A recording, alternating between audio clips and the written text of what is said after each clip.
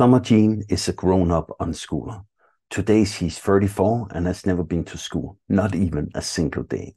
In this episode, we talk with her about how growing up as an unschooler has shaped her life. Join us as we uncover the impact of unschooling, the importance of trusting your child's ability to learn, and how you can encourage independence and create an environment where children can thrive. And discover how unschooling can lead to a life full of critical thinking, personal growth, and self discovery, also for the parents. We hope you will enjoy this week's episode of the Self Directed Podcast. Welcome.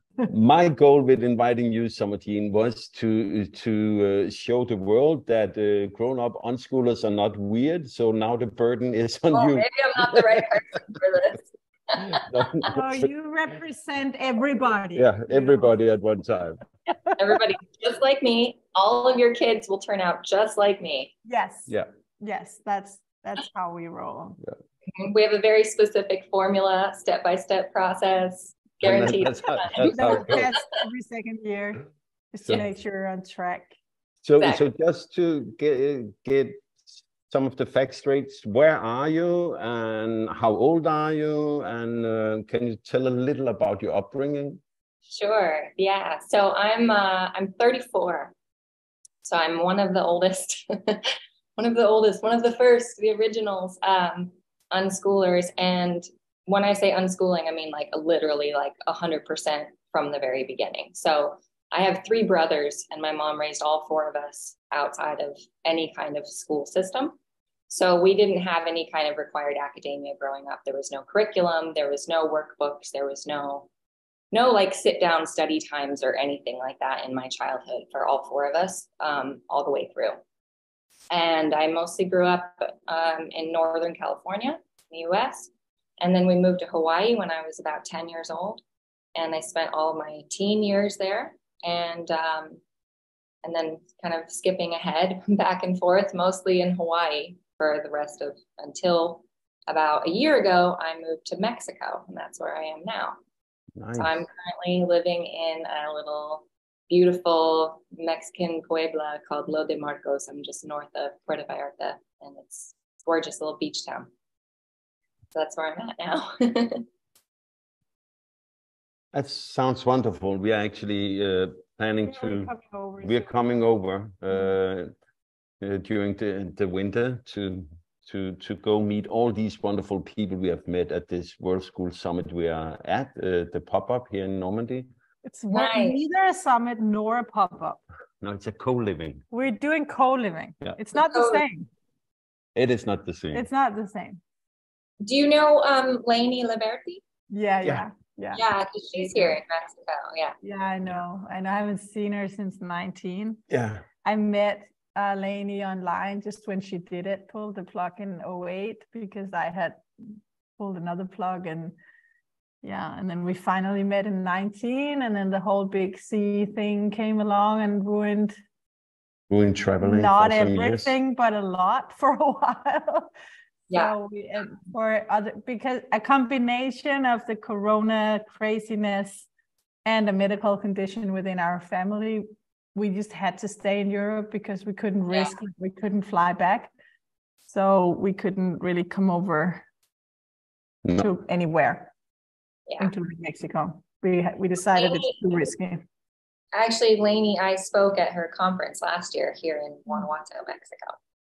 Yeah, she's a great one. Yeah, she- She's really done a lot for the community. We And had her. yeah, Yeah, yeah, Have we, we have, we have yeah? had, yeah, yeah, we had her Yeah, on she's one of our first, podcast. First first- podcast interviews. Yeah. Um, some for me, it's a little strange to um, ask question, as I jokingly said in the, the start. Now it's on you to show the world that we are normal people, but you're just a normal person. I mean, Yeah. Well, maybe Yeah. I should say the thing about the Tasmanian family, Okay. then we warm up. So the first time we met a grown-up unschooler was when actually she just reached out in the world school community if anyone was around actually not even copenhagen we were living in copenhagen at the time and she was in malmo which is in sweden just across you just have to cross a bridge it's like 40 minutes away and they were crazy story they were bicycling europe with their two children. I Oh, remember. cool. And uh, it was raining cats and dogs, and it had been for several days, and the forecast was bad. And she was like, Do I know anyone in this area? I need to get inside. And I said, You can jump on the train and come to my house. And she came, and I didn't even know she was a grown up unschooler. unschooler. It's funny, unschooler, that's the word, yeah. Um, so she just came and she had her husband and two children, and we were an unschooling family. It, but we met through world schooling, which is not the same. You can sit down with workbooks traveling the world. Well, yeah, I mean, world schooling just means that you're um, you're doing some form of home education while traveling. Yeah, basically traveling while you have be- children that would normally go to of- school. As far as I understand it, you could be following some kind of curriculum or doing Yeah. some kind of Yeah. A version of homeschooling, relaxed homeschooling, eclectic home, whatever. It could be any of those things, or it could be unschooling, or it could be radical unschooling, or it could be, you know, some offshoot. Um, but I think mostly it's just that you're not in school and you're live you're traveling. That seems to be Even the some general- world schoolers are in school and they just Yes. take big chunks of That's time true. out to travel. So Yeah, there's yeah. not really not any rules. I would say the Yeah. rules for unschooling are more strict. Uh, I wouldn't be so sure, but I really I prefer to have well defined. I like things to be well defined. I like definition, especially when it comes to language, because otherwise, how do you communicate and have conversations Exactly. about things? And so I've actually been uh, one of my unpopular opinions that uh, a lot of people in the unschooling and homeschooling communities, I, I, I ruffle some feathers because they really don't like it when I define unschooling in a very practical sense. Um, they kind of want it to be this very ambiguous kind of thing that they can sort of apply to whatever they want and be like, oh, well, we're almost unschoolers. And I'm like, that's not a We thing. unschool in the weekend. Yeah, people Yeah. we unschool we un oh well we we we unschool part of the time. We unschool Mm. sometimes. We unschool everything but math or we unschool and I said no. I'm like, no, I'm sorry, no. Um, that's some form of homeschooling. You're doing some form of schooling at home. That is called homeschooling. Unschooling means you do not require your children to do academic schoolwork or anything that resembles schoolwork at all.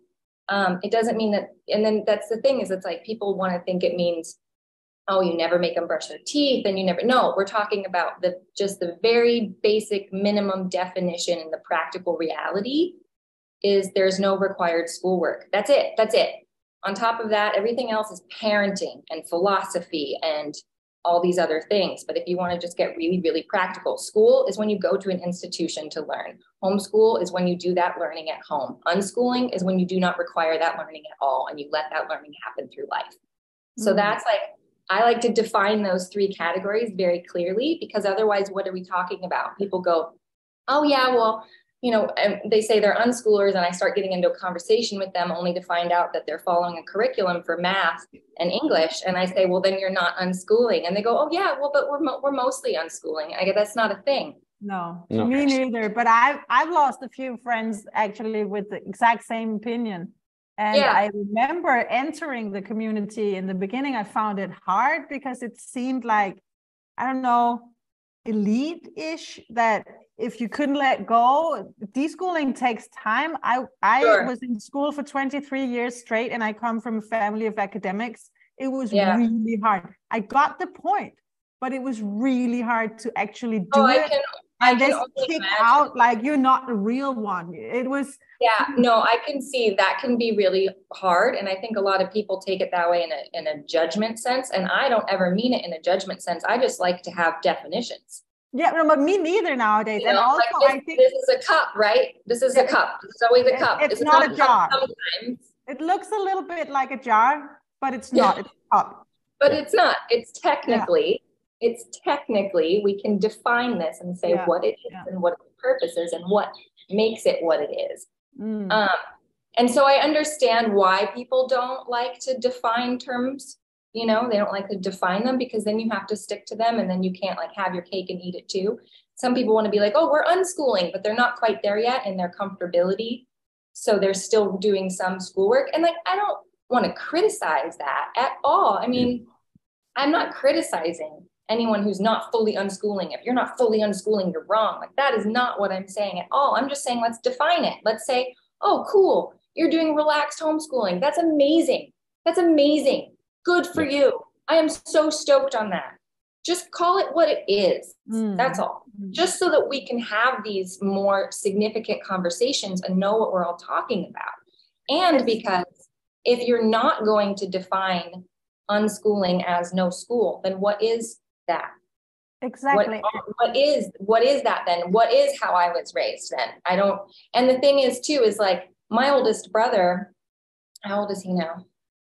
He's 40, he's over 40. And um, you know, we were some of the the early ones to even use that term. And we wore that term very proudly. And that was like we were unschoolers. And we all knew what that meant. That had a very mm. clearly mm. defined definition. It meant you didn't do schoolwork. That's what it meant. You know, and then of course, yeah, you can get into the deeper philosophies about why and how that works and how you support that process and all of these things. But we could all, like, we all held that title. And if you take that away, and if you say all these different things are unschooling, then what what are we anymore? You're just like kind of to me, it was a little bit like, hey, wait a second. It's my childhood. but that's not what it means. And now I'm I'm understanding why people why? Because there is a little bit of a cliquish thing happening in different communities, in the homeschooling community. You know, like there's these cliquish things happening where people get a little weird about the titles and the labels. And to me, it's just like a practical thing. It's not to shame anyone or to judge anyone. It's just a practical thing. It's like, oh, cool, you're doing this. Awesome. I'm doing this. Like, but but it is, I can see why like some people are using well they're saying we're almost unschoolers because they don't feel like they fit in to the unschooling community and they don't feel like they quite fit into the radical unschoolers or they don't you know and so they're they're they're kind of trying to define what they are and they don't feel like they fit into any of the established definitions. So i get that. I'm not like calling anybody out for being wrong. I'm just saying for the purposes of my conversations i like to define them so that people know what i'm talking about. Yeah. yeah. Yeah yeah i get you. I think especially the problem arises or it, it like mm, has ripple effect if we talk about unschooling and it could be unschooling with mandatory math let's say and that's and then people who do unschooling with mandatory math start teaching other people how to unschool. Yes. answering questions. That's when i get i have mm, i want to say hey wait a minute. Because yes. unschooling you wouldn't know because you're unschooled. But f- coming from a schooled perspective being the parent getting the idea but having to actually do it let go yes such a dark place. It puts you in so much fear and so much discomfort. And you have to even you you fight with yourself on the inside which yeah. is a lot of work the whole deschooling process. And you know oh, yeah. have to trust it. And then well, you have to explain to your mother-in-law and you have to explain to the bus driver and you know you have to fight people off. Yeah you're going and then someone comes and tell me oh but i'm unschooling with a math book. Yeah. yes i know i understand yeah, i know i can't have it yep yeah, hmm. that's exactly. I feel the same way, even though I wasn't the mother, so I can only imagine. but I feel the same way in the sense that it's like it de- devalues what you've gone through.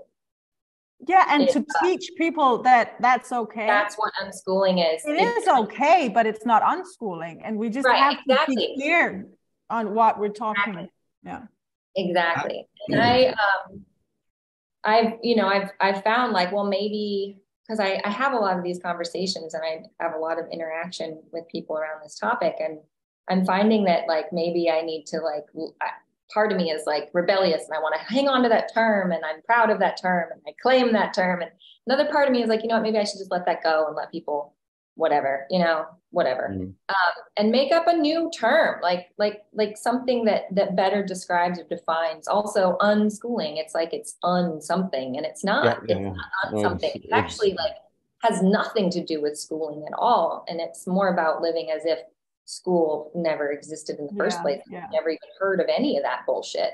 So oh. it's like it's just you, you know. Um, and I'm yeah, it's I'm, really weird to define what we're doing by what we're not doing. Exactly. That's what yeah. I yeah. It's not like we get up every morning and say, Oh, today we will not go to school.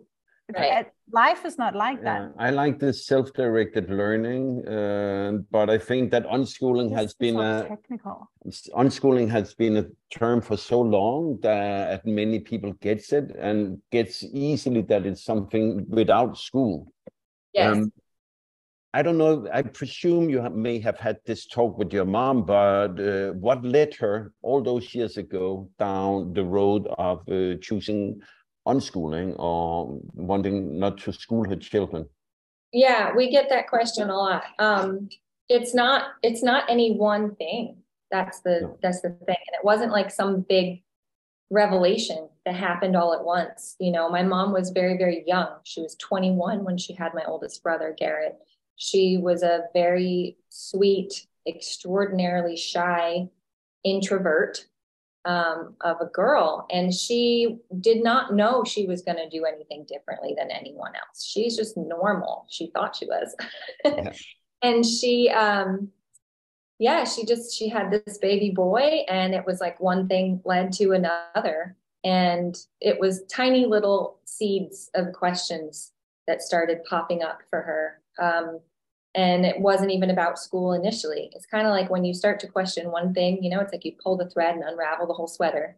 Yeah. And um, so she started to question one thing, and it led to another thing, and it opened up different doors. And and in herself, and um, being in alignment with her own sense of rightness and what felt in alignment with her instincts, her mothering instincts, and somehow my mom had extremely strong mothering instincts and then somehow had the ability to hear them and then the courage to actually listen to them and follow through. And um, so it was little by little you know it was like um, it was first it was things like wait why would i circumcise my baby? You know it was like little questions like wait why would i do this? Just because everyone else is doing it or like and then she'd start to look into it. And she'd find information and then she'd be like actually this is not the right choice for my family. We don't need to do this um, and she did that with other things, other medical choices. Um, and then it, I'm the third born. And so by the time I came along, she even had a home birth and she just wanted less and less intervention. And, and she started to realize like she was so in love with her children. She was so enraptured, like with her children. And then when it came to like giving her kids away to strangers to be trained um, by this society that she didn't even really agree with, it was kind of like, wait, why would I leave my child with these random people all day that I won't even know what's going on or what kind of input he's having? And also, she said, she's like, part of it was selfish. She's like, I wanted to hang out with him. Like, why should someone else get to hang out with my kid? Like, I want to hang out with my kid.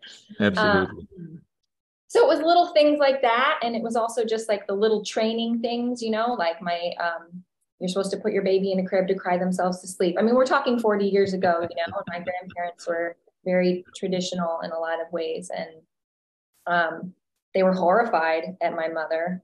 And it was like, put him in a crib to cry himself to sleep. And, and like, no, she was just like, no, like, no, that's wrong. Like she tried it once and she was like, there's no way that that's healthy for anybody. Um, and so it was all very heart centered for her. It was very intuitive. It was very, um, it wasn't like this mental process actually. And then you know what happens like when you start to you open yourself up to seeing different things and then information will come to kind of fill that curiosity. And um, books started showing up. Like somehow she got a hold of the book Summerhill by A.S. Neill.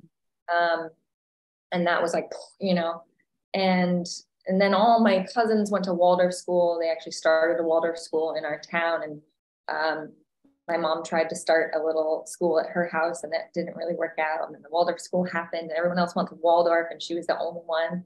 Um, so it's hard to say, you know, it's kind of like a, it's just, it was like a little by little process of her just questioning, like, wait, why would I do this?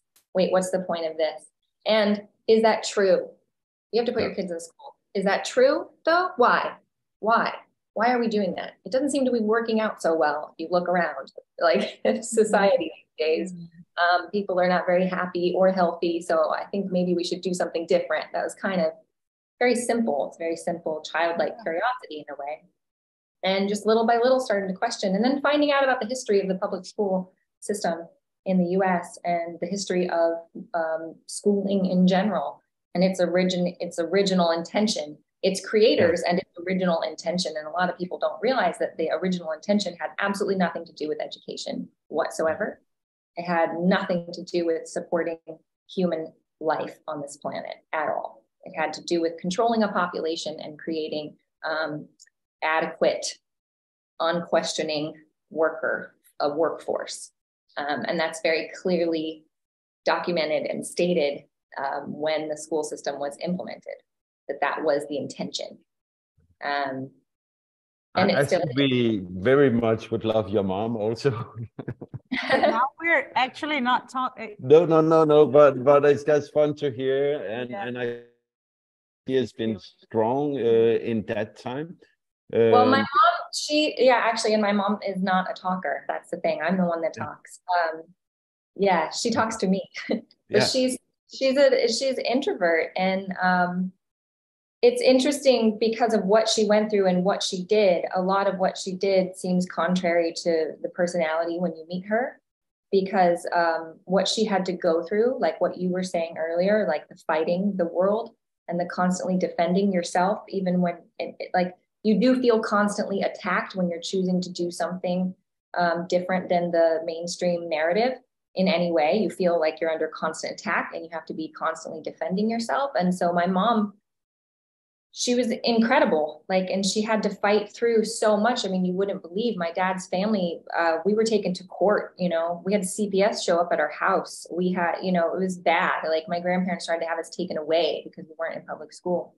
Oh, and, um, and list goes on and on and on. And what my mom had to go through to stay true to herself and her convictions and protect her children um, is incredible. It's incredible, and I'll be forever, forever grateful. Yeah. One one thing you said about the the mothering instinct. Um, uh, and how she understood to listen to herself. Uh, in our family, it also came from the mother, from Cecilia. And uh, even though I were um, more uh, wild and rebellious than a lot of the normal normal dads out there. I still uh, succeeded in uh, holding holding hold, holding my wife back. I was like, I I needed the control. I was like, oh, you need to teach them. You, uh, I want you yeah. to do this and the start. And and it, I can see now that it came from uh, fear of what other people would think it came from fear about taking the responsibility. But as the dad that was out of the house and working, um, there's also the not knowing, and then it's easier if I was thinking, oh, she's sitting down every day with yeah. them and doing this and this and that.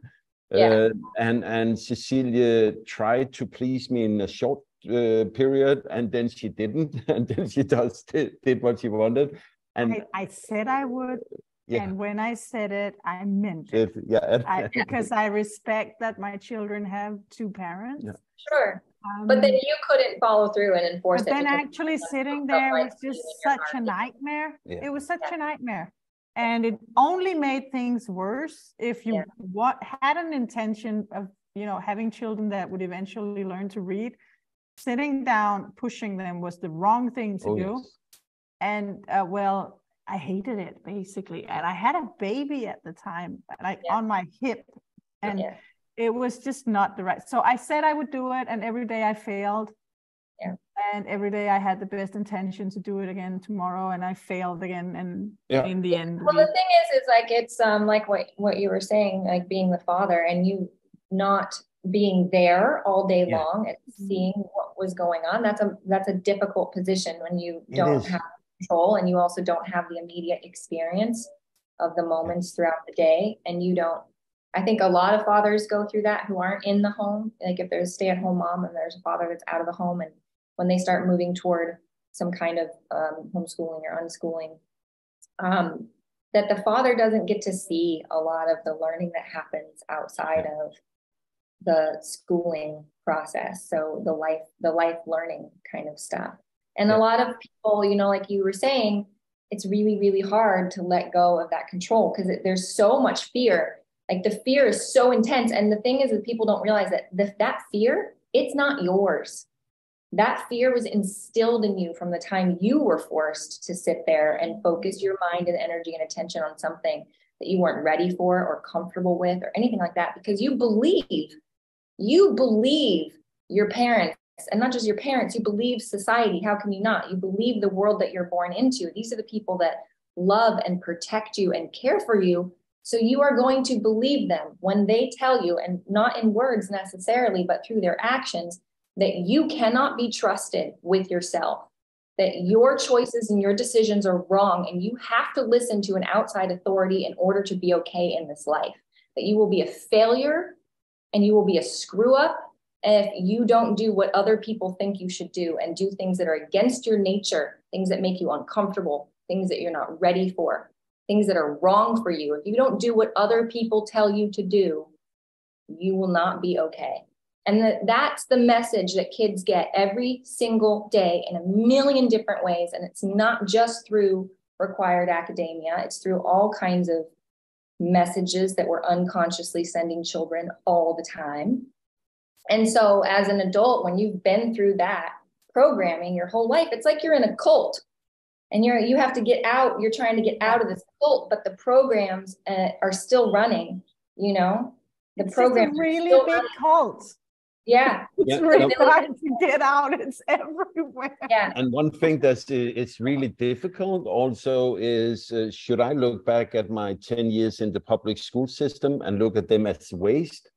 Oh, that, that is in, no, yeah, yeah, but that I can understand how it imprints in people the the feeling of it, it was right for me, so it must be right for others, because otherwise yeah, well, you should admit that you have wasted your time.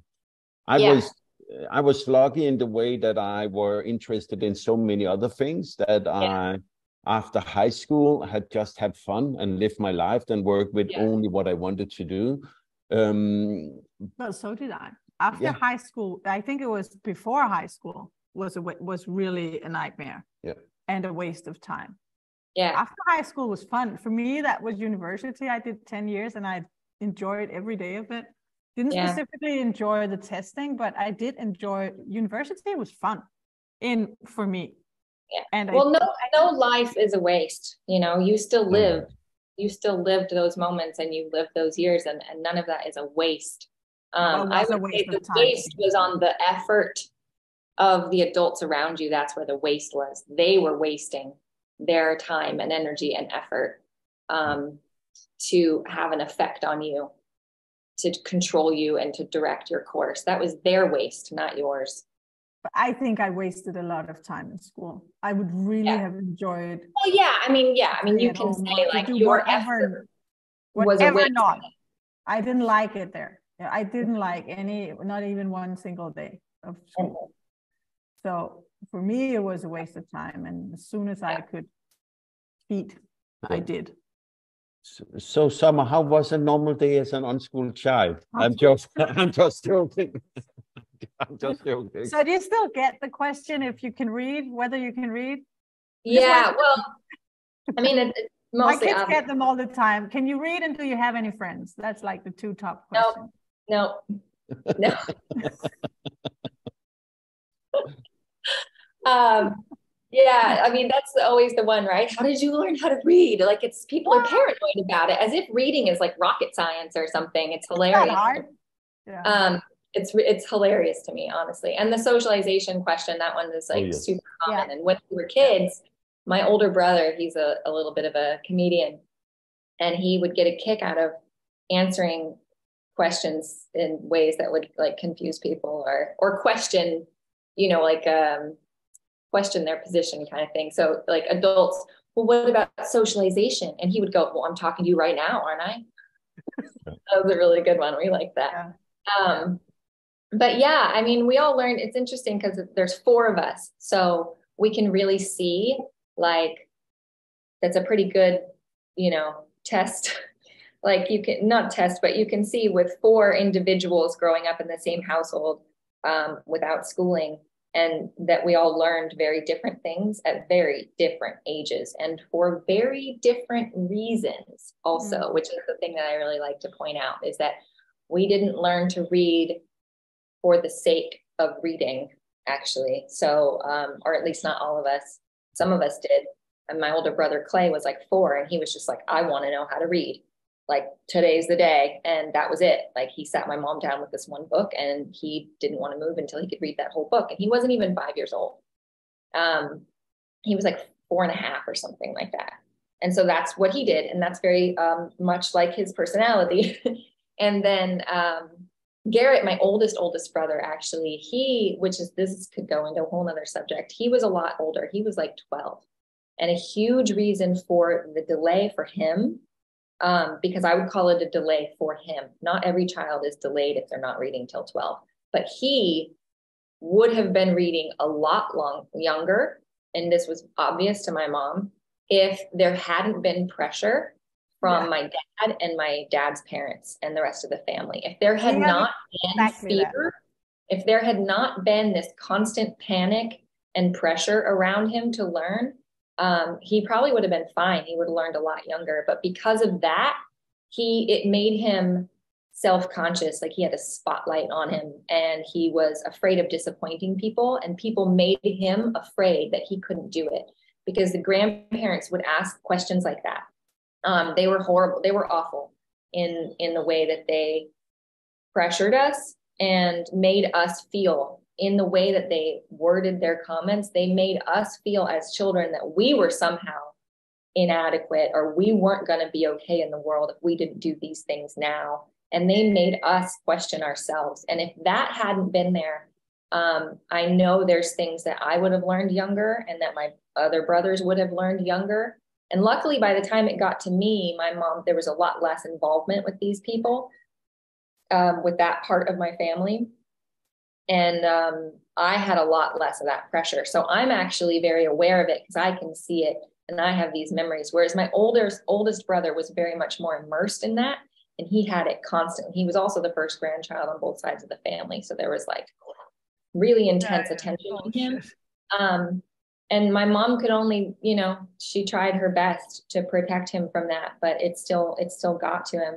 And so he didn't really start reading fluently until he was about 12 um, because he was terrified of the watchful eyes all the time. That's what really set him back. But then he's amazing. Like he's uh, he's amazing. um, the stuff that he does now today, like um, everyone thought, like a lot of a lot of my grandparents and that they thought that none of us would be okay. Like they were really terrified. You know, they were really terrified, and I feel for them. Like I have so much compassion. Like what they had to go through watching their grandkids and like um think like having no understanding. Yeah, and but, but, and some how do you define okay? That's fun right? Uh, how um, people um, okay, define what okay is. you're okay you're okay. Yeah but in their mind so okay would have been you you need to have a certain kind of job you need to well you know to them i think they're they're quite simple people. Um they're they were you know cattle ranchers and cowboys and um, to them, they just wanted to make sure that we were like, you know, actually average would have been just fine to them. Just have a steady job and support yourself was really kind of the main thing. And they were just afraid that we weren't actually going to be able to get jobs, like even even you know low level job like any jobs they were just afraid we weren't going to be able to get jobs because we weren't going to be able to count change basically you know like that was their level of fear um, that we weren't going to be able to interact with people, work in customer service because we were so socially awkward, or we weren't going to be able to have basic math to count change, or we weren't going to be able to, you know, read and write so that we couldn't even, you know, write notes or, or, or take orders, or, you know, that's, that was their level of fear. So they're, they're, um, when they said okay, they just wanted us to be able to function and support ourselves. Like I think that was that was it. They didn't need doctors. I think that's a common fear, though. That yeah. that I think that's what fun. people yeah. think when they ask, "Do they have any friends? Can they read? Will they ever socialize?" They yeah. think that all these things can only be learned in school. Yes. High yeah, school. because we've lost because we've lost um, any faith in human nature, mm. in our in our basic what what we are. Like people are like I said this I think in um, I think it was at that conference um, that people are not afraid for their children. They're actually afraid of their children. You are afraid of what your children are essentially. That's the fear is that you are somehow inherently wrong. Actually, that's the real fear is that it's about you. Um, is that you are somehow inherently wrong and inadequate and stupid at your core because that's the only way that you could think that forcing another human being um, is somehow justifiable is because you think that if you don't do that if you if nature had took its course it would be wrong. It would be awful. So you literally like we have this as a society we seem to have this very very low opinion of ourselves and our children of human nature that we don't we don't trust. Um we just don't trust. We think that that somehow what like what are you going to be if you don't get forced like you're going to just be a drooling idiot in the corner. Like that seems to be what people think is going to happen if you don't force it. Um, yeah. which is funny because everything else if you look around everything else on this planet naturally seems to unfold according to its nature um, and it doesn't need to be forced by an outside authority. Um, so it yeah it's a it's a weird it's a weird deal. I feel like it really comes from that belief that was instilled in you and it just keeps getting passed down generation to generation of it being like if you don't do if i don't control you you're going to be a failure. And then the kid grows up being like i'm bad i'm wrong and i need to listen to a higher authority in order to be okay. And then they continue to pass that down. I'm bad i'm wrong. Yeah. and um, that what other conclusion can you come to as a child? What other conclusion can you come to because when someone as a child when someone sits you down and they say you have to do this thing and it feels all kinds of wrong in your body it goes against your sense of rightness. All you want to do is have your bare feet on the grass and you want to pick flowers and sing songs and build fairy houses in the woods. That was me. Um, or like my brother for instance he'd rather be working on a wooden boat model in the garage or clay would rather be reading books and crocheting hats. Like that was his that is what felt right for us in that moment. And as soon as someone tells you you cannot follow your own instincts, your sense of rightness, your passions, your interests, you can't follow them. They're wrong. You have to do what I tell you to do, or you're going to screw up in life. And so, as a child, when you get that message, like, what are you going to do with that? It's just, I'm wrong. I can't be trusted. I can't make my own choices or decisions. Like, what do you rely on then in life? You know what do you use as a sense of discernment if not your own sense of rightness? And so it's like we're undermining humans own sense of rightness and then we no longer know anymore what our nature is what we're really made of what's really true to us. Nobody knows anymore. They don't know what's true to them because they had that crushed inside them when they were little and they believed it because it got repeated to them over and over and over. I mean it's literal brainwashing it is. So I had the exact opposite. Um, at least from my mom. Like I still got some of that brainwashing because I grew up on this planet in this society, you know, um, in this in this family that had all of this fear. I only had the one woman, and luckily she happened to be my mother, and um, she was my ultimate authority. You know, the mother and the father. And but my parents split when I was really young, and my dad wasn't um, super involved in this in the schooling or education. He was the weekend dad and he was great. He just he didn't really understand either, and he was afraid also. But um, but he was a good dad. And anyway, where was I going with that? Oh, just that I had the opposite. My mom, I had the primary parent in my life always telling me that I knew. You know, I knew what was right for myself in my life. That I I did know, and that I could. And and I remember her telling me too, like you can't get it wrong. You know, whatever you choose is going to be right for you. Um, and to have that sense of like security and empowerment in yourself as a child and to be told constantly that like my choices are my own it also meant that those consequences were my own it also meant that i couldn't blame anyone else for my failings in life mm-hmm. it also means that i don't get to point the finger and say you didn't educate me properly you know you didn't tell me to do this and you didn't tell me to do that because i grew up knowing that that was my choice that it wasn't anyone else's job to tell me what to do, that it was my job to figure out what I'm supposed to be doing here. Um, and that I need to follow my own sense of rightness and to make those choices for myself. And in my family, you know, um, respect and freedom, like finding those lines and those boundaries was something that we did together. You know, my mom didn't come in with this big grand plan, you know, this was little by little, and this was something she did with her children This is something we developed together as a community, as a tribe. Um, it was always, what are we going to do about this, you guys? Hey, this isn't working. What are we going to do? It was always this like this we. And there was very few times in my childhood um, that my mom would like pull the pull the mom card, you know, and and that usually was when it came to protection, um, things that she felt were were like harmful or toxic or dangerous to her children. She very much felt that that was her position to be defending and protecting because she is the filter between us and the world, and um, and it was up to her to kind of tell our level of developmental appropriateness for certain um, influences and input you know and and that's that comes from the time that they're babies you know like you don't just let them eat whatever when they're infants oh, no. even if they grab it you you stop them from putting certain things in their mouth because that's your job. And and that doesn't change no matter how old you know as they get older. That doesn't change. What you let them put in their mouth does change. But the fact that that's your job um, to make sure they don't stick their finger in the socket that doesn't change. Mm. so um, that was kind of that's an evolution that we all like that my mom it was over time you know that those things evolve and it's unique to each child and it's unique to each family. So for instance in my family like we we didn't have certain things um like especially when it came to food things. My mom was extremely health conscious and she was very aware that everything you eat affects your brain development and your emotional state. Um, and so for her her job was to keep us in our natural state of balance. Um, and that meant providing a, a, space and an environment. It didn't mean controlling us, it meant holding a space for us to thrive. And it meant um, keeping certain things at bay that could possibly throw us off of our natural um, course, our natural developmental state. So when I try to describe this to people, because a lot of people like there's the radical unschooling, which basically is just like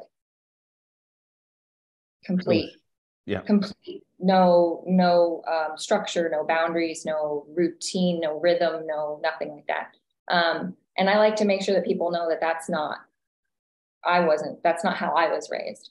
Um, and i was raised with that freedom and respect are mutual things and we all have to find where our freedoms meet and curb each other and that no one's freedom is more important than another's freedom um, and and finding those places and those boundaries together as a family you know and finding where those lines are and what respect means.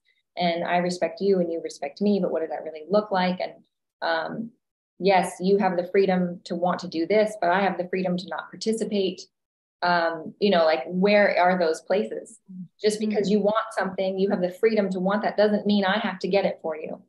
Um, i have the freedom to say no also so it's like finding finding all those places. And um and i feel like a lot of people in when they start learning about unschooling it looks really scary because there's a lot of the radical unschooling or not even the radical but all this there's so much right? Because there's a, a million different subcategories because although you can define unschooling as saying no academic schoolwork that says nothing about why the philosophy from where you're coming from you know and what you really believe about your children and what your parenting philosophy that could be different. People unschool for lots of different reasons. People homeschool for lots of different reasons. And i think that the reasons you choose to homeschool or unschool are going to drive everything. That's what's going to really like create the whole tone or style or flavor of your life with your children is is what's driving you what's that reason. And for my mom um it was um she just felt that how should i say this? She wanted her children to she just felt that we had the freedom to think for ourselves. And she wanted she wanted to respect our right to think for ourselves to have our own thoughts and develop develop our own mechanisms. And um so it's it's like a non-invasive i would say that my mom was kind of like a non-invasive parent so it was like she was tending the garden, but how do you, it's kind of like that metaphor, you know, how do you, um, you don't fix the flower. If the flower is wilting, you don't fix the flower, you, you change the environment, you mm. alter the environment to better support that flower thriving. So that was kind of my mom's parenting. It was like, um, she was non-invasive in the sense that she didn't try to fix and change us and make us be a certain way she tried to create an environment where we could thrive. And um, yeah so that's that's kind of that's my my rant my rant about that. How did that start? a beautiful rant I did learn I did learn, uh, I did learn how to read finally. Um, yeah. um, but not until I was well my thing with learning how to read too is that my learning happened very slowly over a very long period of time um, I would pick it up and then I'd get frustrated and I'd put it down. And that happened over years, little by little by little. And I'd be like, Mom, I want to read. Help me learn how to read. She'd be like, Okay, how do you want to do this? Um, which is the other beautiful thing about my mom is that she never came at me with like a set plan of like, this is how you learn how to do this thing. It was always like, okay, how do you want to learn? You know, mm-hmm. I want to learn how to read. Okay, where do you want to start? What do you, why? Why do you want to learn how to read? Is it this book or that sign or just in general? Because knowing your motivation is going to help um, mm-hmm. with the how to, you know? And then it's like, okay, well, we can learn the sounds of the letters. You want to do it that way? Or do you want to, you know, it was like, how does your brain work? How are you going to be able to absorb this information? So it was always a together we process. And my mom never pretended like she had some grand plan and knew what she was doing. It was always like, let's figure it out together, um, which is a beautiful thing as a child because it gets your own wheels turning. It means you have some responsibility in the process and you're involved and um, you have a say and I think it promotes um, critical thinking, actually, to be included in all of that kind of process. So, yeah, for me, it was like little by little um, through random exposure, you know, on accident. Um, and then the few times, the few times like over the years where I'd be like, I want to learn how to read, and I'd sit there and I'd try, and mom would try to help me, and then I'd get really frustrated and I'd give up, and she'd be like, ah, no problem. Um, she never cared if I gave up because that was my choice. And um, she also knew that she knew that I would read. Like she wasn't afraid. She did. She knew that all of her kids would read. She loved reading. There was books everywhere. She read to us every night. Um, she was a big reader, and to her that was a wonderful, magical thing. Why would someone not want to know how to read? Of course, they're going to want to know how to read. You know, she kind of just like expected her kids to love reading, just like she did. So she never worried about it, and um, so she didn't care if we gave up and she didn't care how old we were. It was um, not that she didn't care, but she wasn't concerned. And she knew that we would, when we were ready and or when it was necessary in our lives, and she knew it would become necessary. And so for me, it was, um, I think I read Jonathan Livingston Seagull first, but I really struggled through it when I was about 10. And um, because I knew how to read, like intellectually, like I knew how, but I struggled, like it didn't click, you know? Mm-hmm and I, I, was frustrated with it. I was one of those kids that if I couldn't get something right the first time, I would just, you know, yeah. Uh, yeah. unless I really loved it. And so finally, what happened was Harry Potter. And a friend of mine was really into Harry Potter, and she, we became pen pals. It was right around the same time. So there was a reading writing thing that happened to me right at the same time. Yeah. She wanted to be pen pals, and she wanted to discuss Harry Potter, which meant I had to read Harry Potter. So mom started reading Harry Potter out loud to my brother and I, and then um, we both got impatient because we didn't want to wait till that evening for her to read the next chapter. We got so into the story. So then my little brother, who was nine, he started reading ahead, and I was like, uh-uh, uh, not gonna happen. It's not gonna happen. And so I one afternoon I picked that book up. I sat on the couch and I declared to my family that I would not get up until I could read fluently, like with ease. Um, and that's exactly what I did. And I called my mom over a few times to help me out. And within about an hour or two, because I was already right there, you know, after mm. so many years of of attempting little bits here and there and learning bits here and there. And uh, so it only took like an hour or two, and then it clicked. And then I was reading like lightning, and then I devoured pretty much every book within my grasp for the next couple of years. I was like uh, six, eight hours a day in fantasy novels. I mean, I read not even fantasy novels. Like I read classic literature. I was obsessed with Shakespeare. I read almost every Shakespeare play um, by choice. You know, and um, so it, it's kind of amazing. It's like when I feel like sometimes people don't understand that learning oftentimes is like eating. Like you have to wait till you're really hungry to appreciate it. yeah, yeah, yeah. I also think that the whole thing with voluntary learning versus forced is just we had a child who learned all the math you would normally learn in a school situation within three months because she felt like it. Yeah. And we had a child who picked up a book and started reading when she was four because she thought it'd be kind of cool. And, yeah.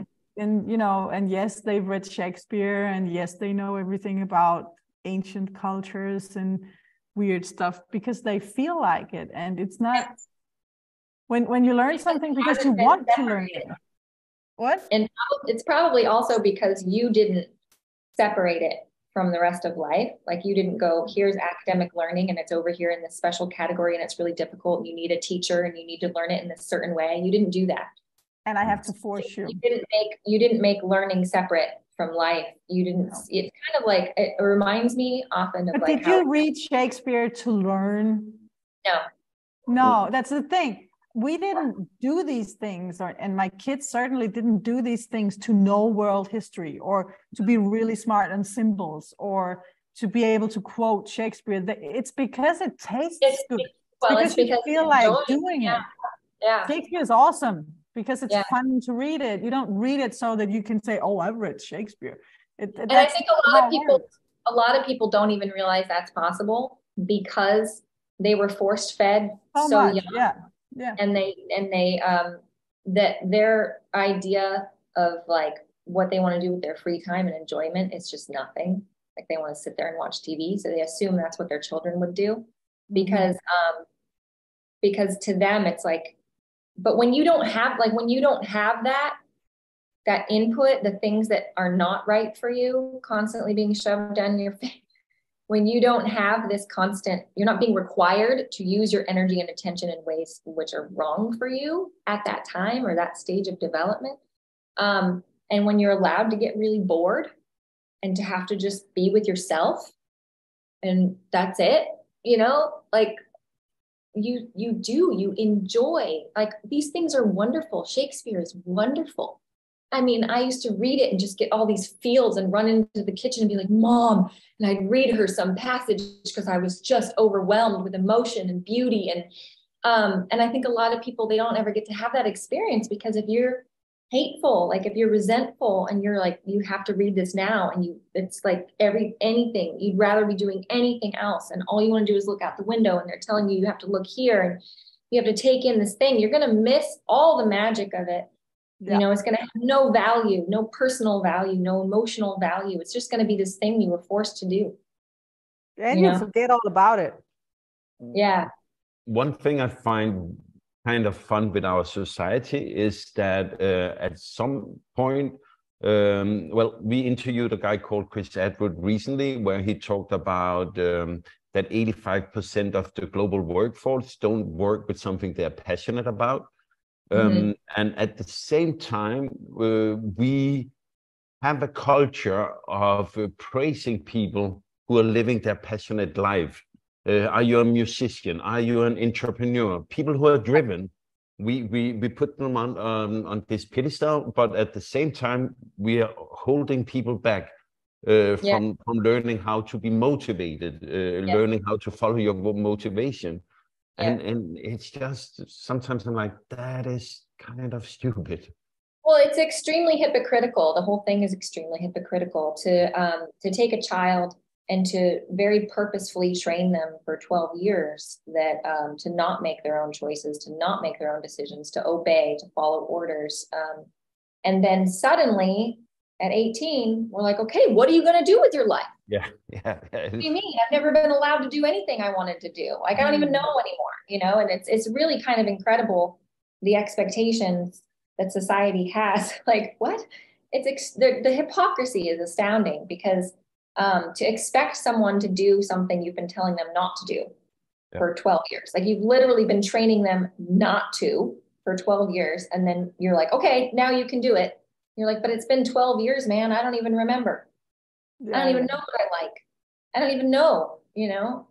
Um, whereas like, and then you have a lot of people that are just okay at a lot of things and uh, expertise is dying. And um, especially when it comes to, you know, um, like trades and crafts and things like that, the experts are dying.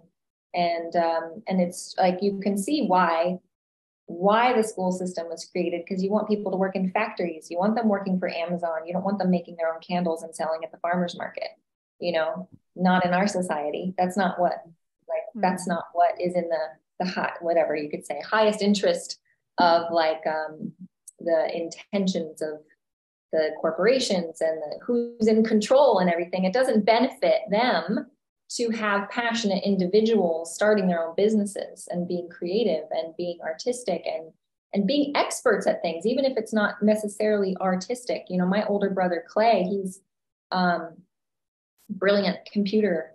You know he works for some fancy startup company. I don't even know. I can't even describe I explain what he does. No. No he's brilliant he got poached he used to work for apple you know like that kind of thing um so but they wouldn't want him going off and starting his own thing. You know, it's like the whole point of school is to keep you in the system and to keep you working for other people and to keep you on the assembly line and working for the corporations. And um, you bust out of that and you do what I did and you start your own business and you know like make your own way. It's like I'm I'm not uh, benefiting that system. I'm living outside of that. I'm not benefiting that system, and um, that's dangerous it's dangerous. Individuals are dangerous. You know, collective group think that's something that can be controlled and monitored and, you know, but having individuals with their own passionate paths and experiences and um, uh, it's it's a totally different thing. It's scary because it's it, it can't be controlled and it can't be known, you know. But it so. is a funny contrast, as you pointed out, that we kind of at the same time make movies about people who do startups yeah. or are yeah, and then we glorify and you know or artists yeah. in some way, and we glorify their passion yeah. and the drive to do what's right for them. And so everyone, I think, and you know what that does though. But what that does though, and I actually think there might be some intention behind that. What that does though is it makes people feel really awful about themselves. Exactly. Exactly. Don't have that and and because everyone know they lack this yeah it's such a deep need to do what is right for you but you were taught not to yeah so it's like some sort of mm, candy coating to yeah. to watch a movie like that or read a novel like that or even read about it in some glittery man- magazine yeah. Yeah. people like this kind of story because it's a huge lack in their life yeah it's so sad it's There's so sad. So beautiful well, life. I like I think what you know, people actually think that learning can't happen without intentional instruction, but it's it's been proven. And I don't know if you're familiar with Joseph Chilton Pearce, but I love his some of the science and studies that he brings up. I was watching one of his talks not too long ago, and he brought up this study. Can't remember. I'm terrible with remembering like facts and figures, but um, he was talking about a doctor. I think it was a doctor who did a study about learning and it had to do with the percentage of learning that comes from in, intentional instruction. So when someone is intentionally instructing you, um, that only accounts for about 4% of our overall learning in our lifespan. but you waste your whole childhood doing yeah. it or not doing it. Or... 96% of your learning in your entire life is unconscious. Mm. It occurs in the unconscious. It's mm. things that get picked up on almost on accident, like not with the intention of like, I'm going to learn that this is a cup today. You don't do that. That just happened. When do you when did you learn this was a cup? Do you remember? When did you learn? You don't remember? Yeah. Like, we we don't know how our youngest child learned to read. Yeah. Uh, we have yeah. I have no I idea how he I didn't even teach him the alphabet, and I didn't see his siblings doing it either. No. But one day he could read in three languages. Yeah, there you go. It was just yeah. like that. And he yeah. was eight. It was fairly yeah. early, especially for the amount of languages. I don't know how he learned. No. Hair either, by the way. it was, it was, I, I mean, we're not afraid they start walking. We know they will start walking. Yeah. And for me, I learned uh, that reading is just the same. They will pick it up whenever they're well, ready. Because you realize, you realize that, um, like you said, like walking talking. Um, these all came from their own personal instinct and desire. Mm-hmm. You know, it's like, why did the baby cross the room? I don't know. Maybe there was something over there he wanted to get to. Like Yeah. it was his own Yeah. motivation. Mm. You know, why, why, why do you want to start feeding yourself? Why do you push your mom's hand away and grab the spoon yourself? Like that, that to me, that is human nature. It's Mm. evolution. It's independence. And um, and that is inherent. You see it in babies. It's inherent. They Mm. roll onto their stomach. You did not teach them that. You did not tell them to do that. They get up on their knees. They walk across the room. They grab their own spoon. They push your hand away. They want to walk up those stairs by themselves. They want to go down that slide by themselves. What makes you think they're not going to want to read by themselves and they're not going to want to walk across the street by themselves because they do. They don't want to hold your hand forever.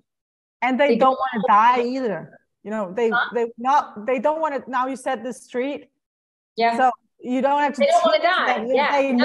know the cars are dangerous. It's obvious it's dangerous. Yeah. Yeah. Yeah. And I think Yeah. that's the, I think that's the I think that's the shift for parents is finding what you really believe about humanity and human nature. Do you actually think your children are suicidal? Do you actually think they're stupid? Do you and lazy Yeah. and, and lazy? Do you think and that you know, laziness, evil. suicidal tendencies, you know, lack of self-preservation, um, lethargy, stupidity, do you think these are inherent human traits? And if you do, then your only choice is forced education. But if you actually can look at your child and you can notice because it's there, it is there in every child, you see that intense, unstoppable desire for independence. You know, they don't want you to wipe their butt forever.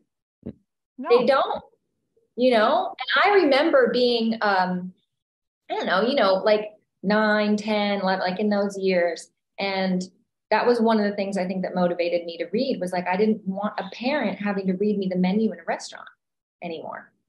Mm. I didn't want to be dependent. I didn't want to be like, what does that sign say? Every time I wanted to know what something said. I didn't Mm. want to be dependent forever. I wanted to, I wanted to drive. I wanted to get my driver's license. I wanted to move out. I want to have my own life. And Mm. so it's like I feel like as long as a child is is supported in their mental and emotional you know health and their natural state of well-being and balance then all of that that learning as long as that natural independence isn't crushed all of that learning is going to happen. And it's going to happen with very little effort on the parents part literally answer and few of the questions child's drive them to part. class, get them a book you know? Um it's it doesn't require that much. And i think that people don't realize when they they think of unschooling and homeschooling they think it's going to take all of this effort on the parents part. And i see it all the time in the unschooling communities um, and it's coming from love and it's coming from fear and because they care about their kids. But this um, almost obsessive thing around providing resources and constantly making everything available to the point where we have something called strewing. Yeah. Putting I things in your hate that. child's path. Putting things in your that child. No, it's, it's like you you plan that uh, because you want your child to read, then you place certain books in Place the books you think. Oh, yeah, okay. into them. You strew you know, them around. Okay, yeah, I get it. You purposefully put items in your child's path that you want them to get interested in so that they will learn But something. that's just basically being manipulative. Yeah, that's a form of manipulation for sure. And then what are you doing? You're teaching your children to be manipulative. So then um, there's And strewing and there's also like to be stupid. morning morning baskets, you know, where people do like a basket and they put all the things in it for their kid every day and they make this thing. Okay, I'm no, I'm I'm sorry. I don't mean to be making fun of anyone. I'm not meaning to be insulting to anyone. Um, it's just that to me, these things seem like you're you're freaking out, like you're freaking out, and it's like, wow, I I want to give you a hug and tell you, take a deep breath and tell you that like it's gonna be okay. Like your kids are gonna be okay. That you don't have to stress your. I see parents stressing themselves out, and I just want to be like, it's really okay if you don't do anything today. Yeah. If you don't get them a new mm-hmm. book and you don't put a game in their path and you don't, it's really okay. Like honestly, I feel like less is more because when I was a kid, it was the silence and the space and the time. That's what I remember that was the most valuable in my childhood was the silence and the space and the time. It was the mom was there Yeah. and she was available, but she was not doing this. And she was mm. not worried about me. She was not worried about me, so I was not worried about myself. And if you are worried about your kids, they're going to worry about themselves, and that's going to cause them self consciousness, and that's going to cause them fear, and that's going to get in the way of their learning. You have to have full confidence in your children's ability. And that's what I had. That's what I feel like made the biggest difference for me in my learning process is I knew my mom had full confidence in my capability, my intelligence. She never questioned. She never questioned if I was intelligent enough to learn something or if I was able to learn something. She always looked at me as if I was capable of anything. So I believed it. That's how I lived. Summer, um, when we decided to make our podcast, it was one of the reasons was we felt when we started our journey that there wasn't a lot of other people out there. When we started, there was not a lot of information. We are among the first couple of families in Denmark going down this road, even. Um, and the more we go in depth with it, what I see is the biggest challenge uh, or the biggest development is needed for all us parents who ourselves have been through the system. It yeah. reminds me, deschooling, the more I think about it, reminds me of a sentence, uh, a guy named Jack Canfield, who's in the transformational leadership uh, world. Uh, I've, I've, worked with some people and helped with marketing he said this thing, and I, I keep remembering it. He said, personal development, the biggest part of it is removing the layers and part of yourself that isn't you. Um, and and for me, that is, I look at it with the same as deschooling. What have I had installed in myself uh, of fears, other people's fears, that isn't me? And I actually believe a lot of us adults maybe don't know ourselves good enough uh, yet and, and still have that. Um, yeah, to find what's original to you. Yeah. Yeah. Uh, yeah. and and then I mean, and then going down the road of uh, trusting your children, but if, if you don't trust yourself yet, that is a, a big step. Yeah.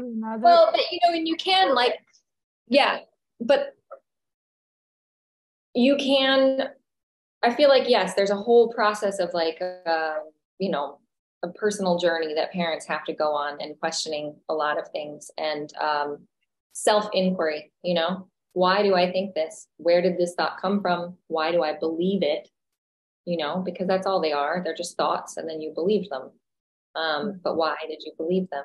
And then investigating, and some of this, you know, can can actually be research. You can debunk a lot of these theories that you have about um, schooling being necessary or forced education being necessary. There's lots and lots of amazing reading material out there, and there's studies, and there's um, it's really incredible. So, and that um, if you need to go that way through the mind, you know, um, my mom didn't really do a lot of that. She went through the through the gut, the through heart. the heart. She's a very deeply intuitive uh, person. So um, everyone kind of has their own their own a- approach, you know. And for some people, it might be a, more, a deeper, more personal, like spiritual evolution for themselves. And for some people, it might be more of a, a mental approach where they need to understand how learning happens and how a child's brain development works. And they actually want to study that um, for them to let go. So everybody kind of has their own their own approach there. But I also feel like regardless of, of your own stage, like as long as you're aware that you are operating from fear in some areas, as long as you're aware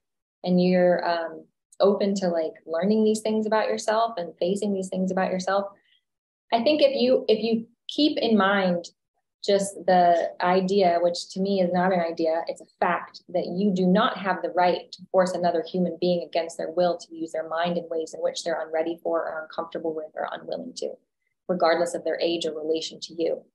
That you do not have the right and if you just keep that in mind, you know, and every time you feel that urge to like make your kid do a learning activity, you have to like be like, I don't have the right. You don't have the right because, mm-hmm. you know, how would you feel if he did that to you? Yeah. You know, yeah, yeah, absolutely.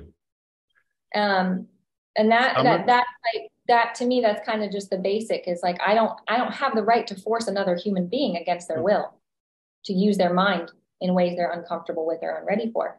And that's where my mom came from. And and and then people want to be like, and that's why I say use their mind because there are times when you do have to pick up your kid physically and put them in the car.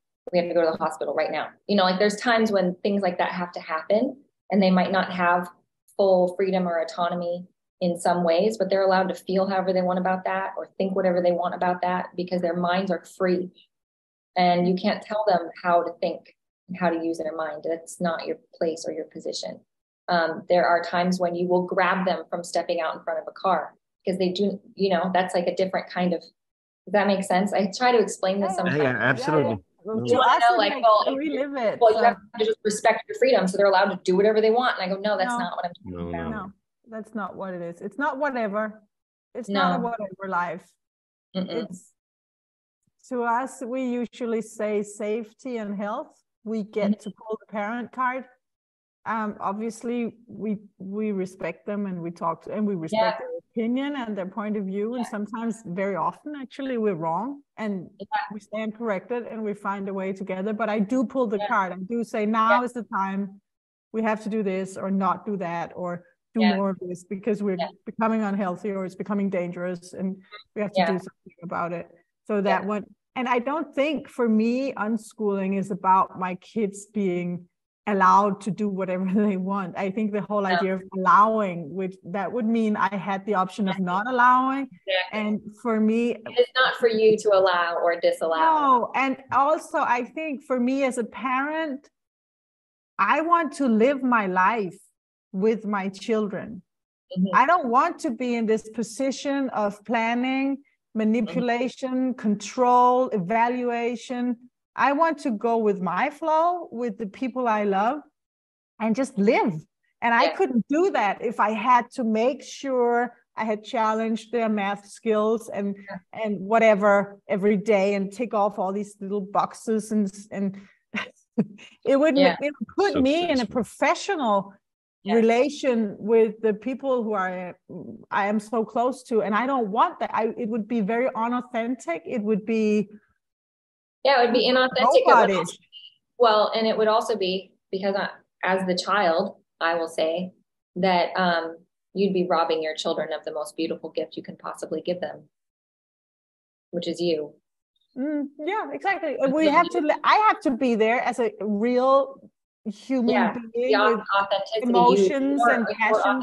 self, and um, and the the connection and the friendship, because that's the whole point to me. Is like what I have with my mom.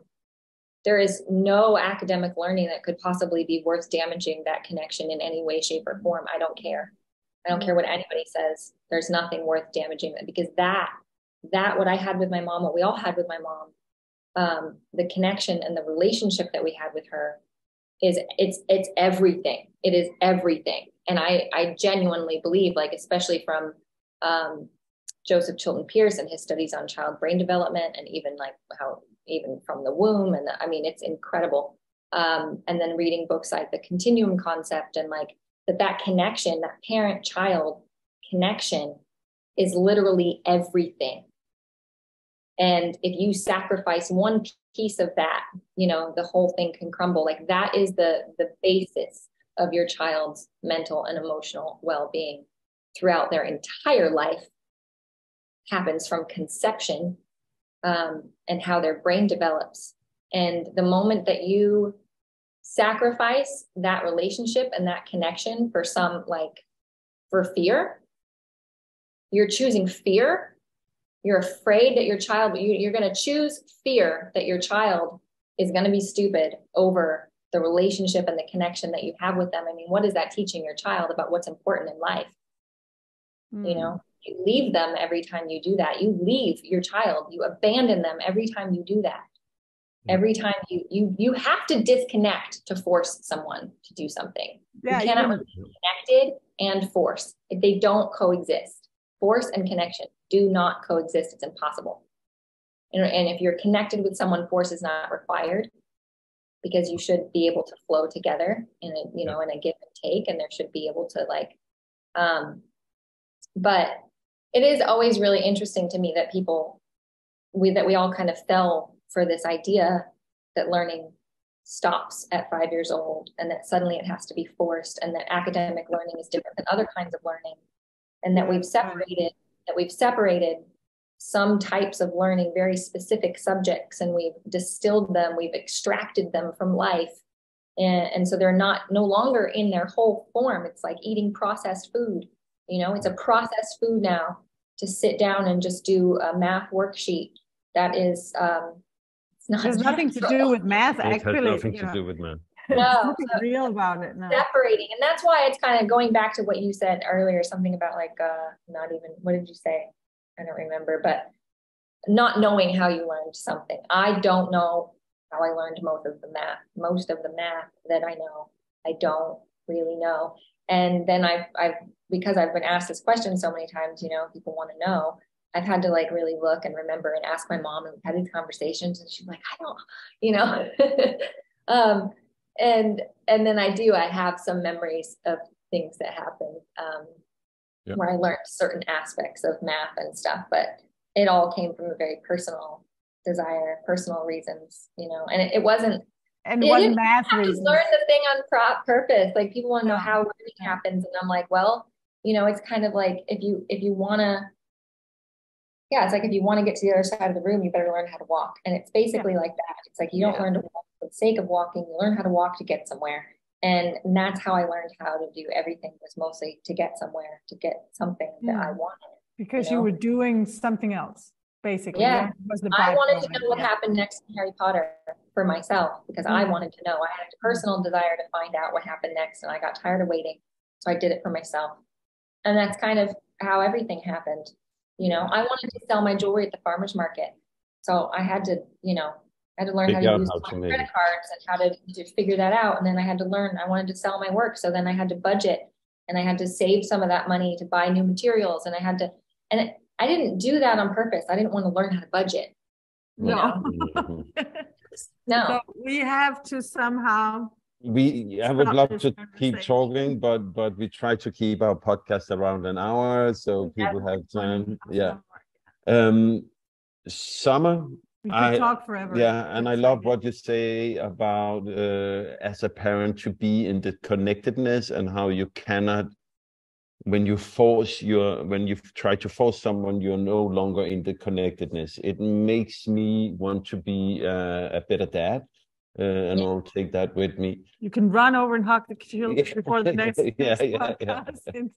Anytime yeah so Summer, it was a real big pleasure if people want to uh, get to know more about you uh, where should they find you um well i have a page on facebook called this beautiful living freedom and i have a patreon where everything's free it's not like for money. It's just to have everything in one place because I didn't feel like building a website at the time. Yeah. But I might build a website because I do, I enjoy writing and I've done a few of these interviews. So I've got links to some video interviews, podcast interviews.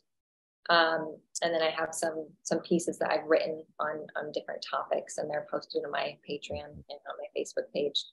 This Perfect. beautiful living freedom, but you can also just find me at Summer Jean. Yeah, uh, we will we will post a link and uh, Thank you for your time, and it has been beautiful talking with you. Thank you for listening. We hope you enjoyed today's episode, and if you liked them, then please share it with all your friends and family. We would also love it if you gave our podcast a review. Thanks. And if you want to support our podcast and work, then you can find us on patreon.com slash the Conrad family. We will continue to travel full time, and if you want to tag along, then please follow us on Facebook and Instagram at the Conrad family. And you can also read more than 100 blog posts on our website, theconrad.family. Until next time, make a wonderful day. Thank you.